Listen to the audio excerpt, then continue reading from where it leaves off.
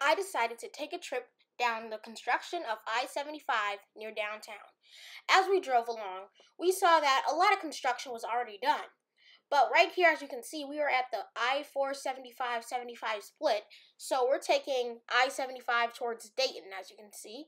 So we're heading south near downtown. And as we get up on this bridge here, we take a turn, and I was expecting tons of construction, but as soon as you get down, all you can see is just nice finished road. Fresh pavement was laid, as you can see in this video, that we had um, fresh pavement. The bridges were done, and it was um, very fast. The um, the commute was pretty well, really well done.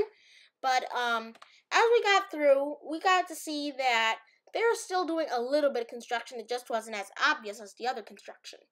Now we're taking we're on this curve again because I-75 through downtown it takes a lot of curves.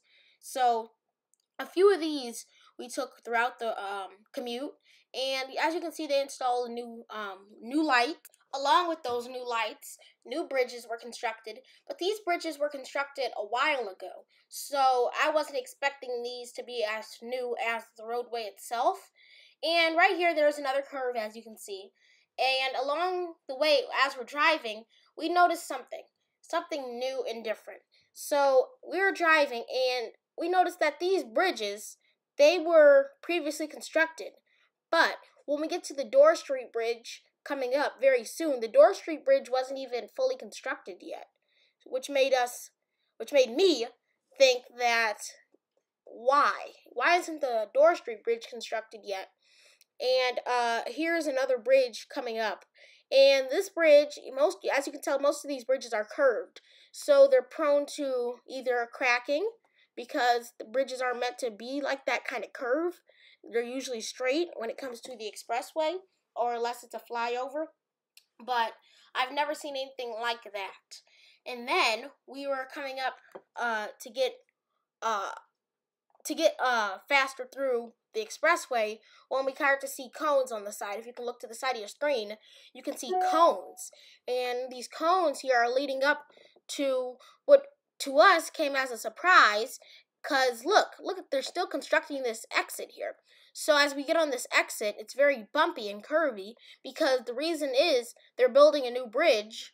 And if you can look, uh, if you can look right here, you can see that they're building a new bridge yeah, take a look right here. There's a new bridge. So the bridge was new, which made me think that it wouldn't be as safe as a structure. But I have not reached out to any ODOT officials. But when we get that information, as you can see, this bridge is uh, still being constructed. As you can see, uh, we're going into downtown as well. So there are cones up to downtown.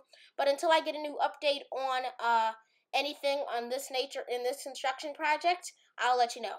Jaden Jefferson reporting for Connect Alert News Now and ConnectAlertNewsNow.com for more stories like this. Go under traffic.